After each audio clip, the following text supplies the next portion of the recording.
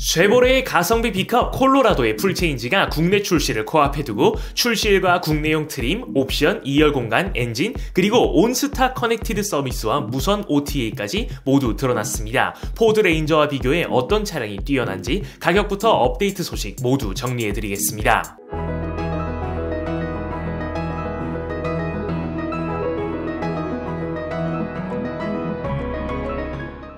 첫 번째 특징 디자인입니다. 세련된 디자인의 콜로라도는 전장 5402mm, 휠베이스 3338mm의 중형급으로 포드 레인저보다 전장이 3cm 길고 휠베이스는 7cm나 깁니다. 현행 콜로라도 대비 휠베이스가 무려 80mm 길어졌기에 디자인적으로도 균형 잡혔네요. 전면부에선 육중한 느낌의 Z71 trim과 오프로드 최적화 ZR2가 있으며 국내엔 Z71 모델만 우선 포착되고 있습니다. 보다 단정한 느낌이 강하죠. 로봇의 얼굴을 닮은 포드 레인저 시리즈와 비교해 어떤 쪽이 마음에 드시나요? 쉐보레 특유의 두 개로 나뉘어진 검은 dual port 그릴은 여전하고 자그마한 헤드램프는 적당한 존재감만을 보여줘 딱 알맞아 보입니다. 범퍼 하단엔 붉은 견인고리 두 개가 튀어나와 off-roader의 맛을 살려주죠. 측면에선 길어진 휠 베이스와 짧아진 front overhang이 눈에 들어오며 29.1도의 접근각과 22.3도의 이탈각으로 오프로드에 대응합니다. 픽업 트럭 특성상 디자인을 집어넣기에 적합하지 않음에도 차체를 휘감는 각진 캐릭터 라인들이 앞뒤 펜더를 강조하며 사각 wheel house와 검은 cladding은 오프로드의 맛을 보여주네요. 다소 밍밍한 포드 레인저보단 성격이 확실하고 휠베이스 면에서 강점을 가집니다.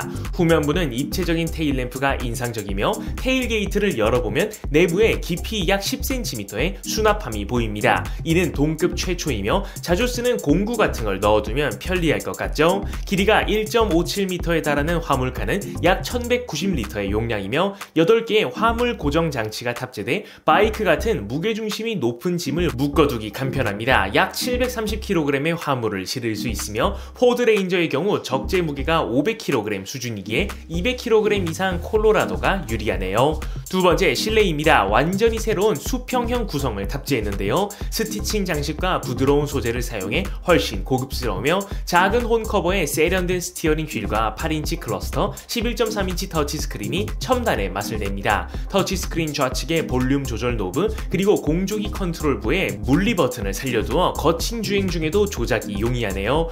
약정 끝난 인터넷과 정수기 가만히 있는 사람만 손해라고요. 쓰던 요금 그대로 새 제품 받는데 안 할 이유가 없죠. 매월 만 명 이상 신규 가입 역시 업계 1위인 이유가 있었네요. 인터넷 TV 47만원, 정수기 30만원, 둘 다 바꾸면 최대 77만원 설치 당일 지급, 인터넷 가전 렌탈 알뜰폰까지 모두 아정당이 답이었어요.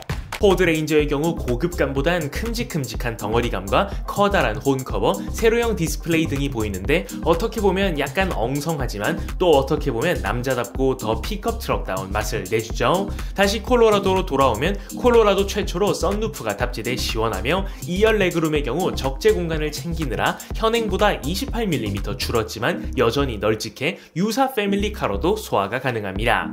세 번째 제원입니다. 터보 플러스 trim이 들어오며 이전 세대의 V6를 버리고 2.7L 4기통 가솔린 터보 엔진을 사용합니다. 자동 8단과 붙어 310마력 53.8kgm의 토크를 발휘하죠. 다만 미국에선 이 터보 플러스 trim이 최근 삭제됐기에 추후 연식 변경에서 토크가 59.3kgm까지 늘어난 상위 세팅으로 변경될 것으로 예상되네요. 이 출력 면에선 포드 레인저가 상당히 불리한데 레인저는 가솔린이 아닌 디젤 엔진이며 같은 4기통이지만 콜로라도는 2.7L, 레인저는 2리터급입니다. 출력도 205마력 수준이기에 100마력가량 차이가 나고 토크도 콜로라도가 소폭 높죠. 콜로라도는 후륜과 사륜 모델이 모두 수입되는데요. 후륜 모델은 2015kg, 사륜은 2150kg의 육중한 덩치이며 리터당 각 8.9km, 8.1km의 연비를 인증받았습니다. 10km대 연비인 레인저보다 살짝 떨어지긴 하죠. 견인력은 현행 대비 약 300kg 늘어난 3500kg이며 레인저와 동급입니다. 있습니다. 현행 오너들의 염원이던 adaptive cruise control 360도 around view가 투입되며 드디어 connected 서비스 온스타가 도입됩니다. 향후 나올 쉐보레 모델들에 모두 도입되는데 스마트폰 앱을 통한 차량 상태 확인과 진단, 원격 제어, 무선 OTA 등을 지원하죠.